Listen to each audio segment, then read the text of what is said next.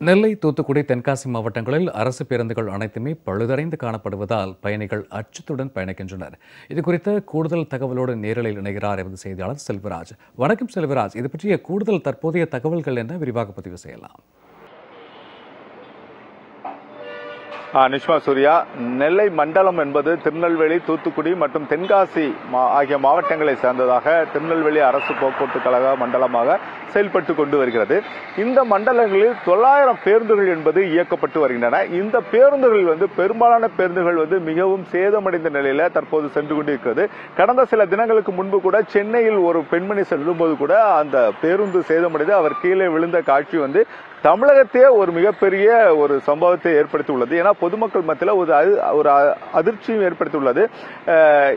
அரசு போக்குவரத்து கழகங்களில் தங்களுடைய செல்வதற்காக ஒரு அச்சப்படக்கூடிய சூழ்நிலை தான் தமிழகத்தில் நிலவி கொண்டு இருக்கின்றன. ஏனென்றால் அந்த பேருந்து என்பது அந்த தன்னுடைய வாழ்க்காலம் முடிந்த பிறகும் அந்த பேருந்துகள் புதுப்பிக்கப்பட்டு தற்போது பேருந்துகள் இயக்கப்படு வருவது வந்து பொதுமக்கள் மத்தியில் ஒரு வந்து அச்சத்தை வந்து ஏற்படுத்தியுள்ளது. இதே போல வந்து நெல்லை மா- மண்டலம் முழுவதுமே இது போன்ற பேருந்துகள் வந்து மிக அதிகமாக இயக்கப்படுகின்றன. குறிப்பாக நகர பேருந்துகள் கிராம பகுதிக்கு செல்லக்கூடிய பேருந்துகள் அனைத்துமே ஒரு மிகப்பெரிய ஒரு சேதமடைந்ததாக செல்லக்கூடிய சூழ்நிலை தான் இருக்கிறது.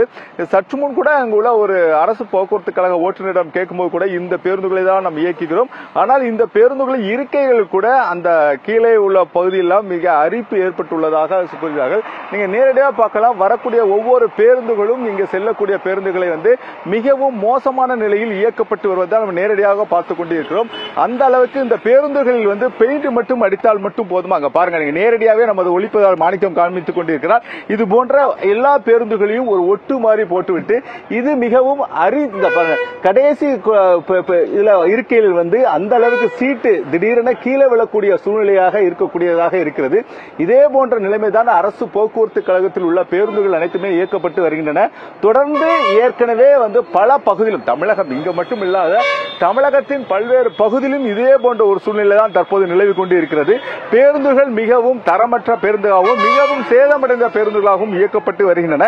இதனால் பொதுமக்களின் உயிருக்கு பாதுகாப்பு அளிப்பது யார் யார் இதற்காக அவர்களுக்கு ஏதாவது விபத்து ஏற்பட்டால் அதுக்கு பொறுப்பு ஏற்க வேண்டியது அரசு போக்குவரத்து கழகம் கூடிய இந்த நிலைமை தான் இருந்து கொண்டிருக்கிறது. இது குறித்து சிஎட்டு தொழிற்சங்கத்தில் விட நெல்லை மண்டல துணைத் தலைவர் பெருமாள் நம்மிடம் இருக்கிறார். அவர்கிட்ட பேசுவோம். ஐயா வணக்கம். தற்போது இந்த பேருந்துகள்லாம் எந்த அளவுக்கு இருக்கிறது? இது தொடர்பான தகவலை சொல்லுங்க வணக்கம். அரசு போக்குவரத்து கழகங்களே கூண்டு கட்டி பேருந்துகளை இயக்கிற காலத்தில் அதனுடைய தரம் உறுதியாக இருந்த ஒரு சேசிஸ் வாங்கினாங்கன்னா அந்த பேருந்து பத்து ஆண்டுகளாக கண்டமாகிற வரைக்கும் அந்த பிளாட்ஃபார்ம் வந்து உறுதியாக இருக்கும். இப்போ வந்து கான்ட்ராக்ட் முறையில் பாடி கட்டுற தரத்தை ஆய்வு பண்ணாததனுடைய விளைவாக அந்த பிளாட்ஃபார்ம் உடையிற நிலைமை இருக்கிறது. அதை அரசாங்கமே ஒப்புக்கொண்டு ஒரு திரும்ப ஒரு வாட்டி பாடி போடுறாங்க. அப்படி ஒரு திரும்ப பாடியை கட்டுறாங்க கூண்டை கட்டுறாங்கன்னாலே அந்த பேருந்து தரமற்றது ஆகிவிட்டது அப்படின்னு அரசாங்கமே ஒப்புக்கொள்கிறது அப்படின்னு அர்த்தம். ஒரு சேசிஸ் வாங்கி பத்து ஆண்டுகள் ஓட்டுவதற்கு இரண்டு முறை கூண்டு கட்டுவ அந்த அவல நிலை வந்து குவாலிட்டியை அதனுடைய தரத்தை ஆய்வு பண்ணாதனுடைய விளைவாக ஏற்படுகிறது. தரமான கூண்டு கட்டும் இதை செஞ்சாங்கன்னா இந்த மாதிரி விளைவுகள் ஏற்பட வாய்ப்பில்லை. அப்படிங்கறது தான் நான் பார்க்கிறேன். இப்ப நம்ம நேரடியாக பார்க்கலாம். கிட்டத்தட்ட பாத்தீங்கன்னா அரசு போக்குவரத்து கழகத்துல பெரும்பாலான பேருந்துகளோட நிலைமை இப்படிதான் இருக்கிறது. இப்ப நம்ம நீங்க பார்க்கும்போது கூட இப்ப நேரடியாக பாத்தீங்க ஒரு பேருந்தோட கடைசி சீட்ல அரிச்சு போய் இருக்கிறது. அதுல வந்து பயணிகள் பயணம் செய்தால் அவர் உயிருக்கு ஏதாவது விபத்து ஏற்பட்டாலோ இதுக்கு யார் பொறுப்பேற்கணும்? இந்த மாதிரி பராமரிப்பு இல்லாத பேருந்துகளை இயக்கி பயணிகள் பாதிப்பட்ட அரசாங்கம் தான் அதுக்கு பொறுப்பேற்கணும். போக்குவரத்து கழகங்கள் அதனுடைய உரிமையாளராக இருந்தால் கூட முழு நிர்வாகமும் அரசாங்கத்தினுடைய கட்டுப்பாட்டில் தான் இருக்கிறது. ஆகவே அரசாங்கம் தான் இதுக்கு பொறுப்பேற்கணும். தரமான பாடி கட்டுவதற்கான கூண்டு கட்டுவதற்கான உத்தரவாதம் அரசாங்கத்தால் ஏற்படுத்தப்பட வேண்டும். இப்ப நேரடியாக நம்ம கேட்கும்போது கூட ஒரு பேருந்தோட ஓட்டுநர் சொன்னார். இந்த பேருந்து என்னால் இயக்கப்பட முடியலை அஹ், குறிப்பாக பொதுமக்களை எங்களை அழைத்து செல்லு சென்று ஒரு இடத்துல இறக்கி விடும் வரை எங்களுக்கு மிகவும் பயமாக இருக்கிறது என்று சொல்கிறார். இதுதான் ஓட்டுநர் நிலை- நிலைமைகளா? உண்மைதான். பேருந்துகளுடைய இந்த மாதிரி பராமரிப்பிற்கு போக்குவரத்து கழகங்களால் பணம் செலவு பண்ண முடியவில்லைங்கிறது உண்மை.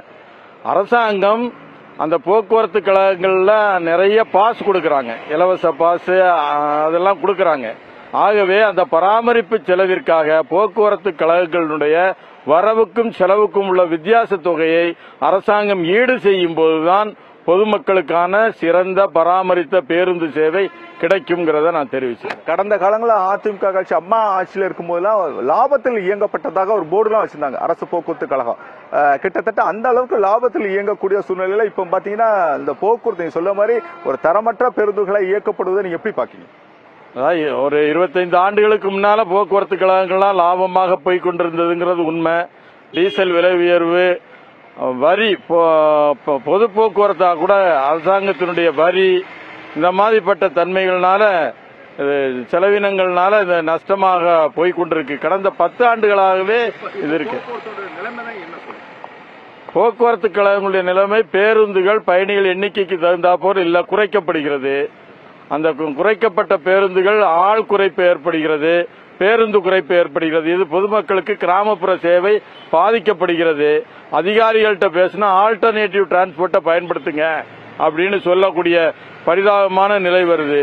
எப்படி ஒரு பால் விலை உயர்வு போக்குவரத்து கட்டண உயர்வு விலைவாசி உயர்வு மக்களை பாதிக்குதோ அதே மாதிரி அரசாங்கம் பொது போக்குவரத்து சேவையை முடக்கும் போது பயனற்றதாக்கும் போது மக்கள் அதிகமான கா- பணங்களை செலவு பண்ணி போக்குவரத்து சேவையை பூர்த்தி செய்ய வேண்டிய கட்டாயம் ஏற்படும்.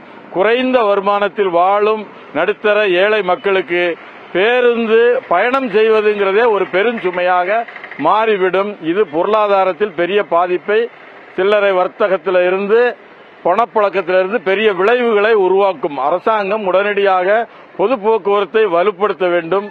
வரவுக்கும் செலவுக்கும் உள்ள அந்த வித்தியாச தொகையை போக்குவரத்து கழகங்களுக்கு கொடுத்து பொதுமக்களை பொது போக்குவரத்தில் பயணிக்க ஒரு விழிப்புணர்வையும் இப்ப கிட்டத்தட்ட அரசு போக்குவரத்து கழகத்துல ஒரு பேருந்து வாங்கினா எத்தனை ஆண்டுகள் இயக்கலாம்? ஆனா நம்ம திருநெல்வேலி அரசு போக்குவரத்து மண்டலத்துல எவ்வளவு பேருந்துகள் அந்த அவரோட அந்த ஆயுள் காலத்தை முடிந்து ஓடிக்கொண்டிருப்பதா நினைக்கீங்க ஒரு பதினைந்து லட்சம் கிலோமீட்டர் அல்லது பத்து ஆண்டுகள்னு நிர்ணயம் பண்ணியிருக்காங்க. அந்த நிர்ணயத்தை மீறி பேருந்துகள் இயங்கிக் கொண்டிருக்கிறது. புதிய பேருந்துகள் வாங்கும் எண்ணிக்கை இப்போது குறைந்து விட்டது. பழைய பேருந்துகளையே ஒப்பேத்தி ஓட்டுற அதாவது புதுப்பித்து ஓட்டுற அல்ல நிலைமை வந்திருக்கு. இதெல்லாம் அரசாங்கம் கைவிடணும். புதிய பேருந்துகளை அதாவது சுற்றுச்சுற சூழலுக்கு உகந்த மாசு இல்லாத புதிய பேருந்துகளை வாங்கி இயக்க வேண்டும். நிச்சயமாக பெருமாள் தெரிவித்தது போலவே இது போன்ற நிலைமைதான் திருநெல்வேலி மண்டலத்தில் உள்ள அரசு போக்குவரத்து கழகம் மட்டுமில்ல தமிழகத்தில் உள்ள அனைத்து அரசு போக்குவரத்து கழகத்திலும் இதே போன்ற ஒரு நிலைமைதான். நம் நேரடியாகவே களத்தில் இறங்கும் போது ஒவ்வொரு பேருந்துகளும் மிக தரமற்ற பேருந்துகளாக இயக்கப்படுகிறது. குறிப்பாக பொதுமக்கள் அமரக்கூடிய சூழ்நிலை கூட இல்லாத சூழ்நிலையாக இருக்கிறது. ஆனால் பல இலவச இலவசங்களை அழித்து விட்டும் பெண்கள் அதிகமாக இலவசமாக சென்று கொண்டிருப்பார்கள் என தமிழக அரசு தெரிவித்தால் கூட அந்த பேருந்துகள் தரமாக இருந்தால்தான் பெண்களும் தங்களுடைய பயணத்தை மேற்கொள்ள முடியும். இது போன்ற நிலைமை இல்லாத சூழ்நிலை நாம் நேரடியாகவே பார்த்தோம். இது போன்ற அவரோட அரசு போக்குவரத்து கழக நிர்வாகிகளும் தெரிவித்துக் கொண்டு வருகிறார்கள். தொடர்ந்து தமிழக அரசு இதில் வந்து கவனம் செலுத்தப்பட வேண்டும். தொடர்ந்து இந்த போன்ற அந்த பேருந்துகள் ஆயுள் காலம் முடிந்தும் தங்களுடைய சாலையில் ஓடிக்கொண்டிருப்பதால் மிகப்பெரிய ஒரு ஆபத்து ஏற்படுகிற சூழ்நிலையாகவும் இருக்கிறது. இதனை கருத்தில் கொண்டு உடனடியாக புதிய பேருந்துகளை இயக்கப்பட வேண்டும் என்பதுதான் அரசு போக்குவரத்து கழக நிர்வாகிகள் மற்றும் பொதுமக்களுடைய கோரிக்கையாக உள்ளது சூர்யா.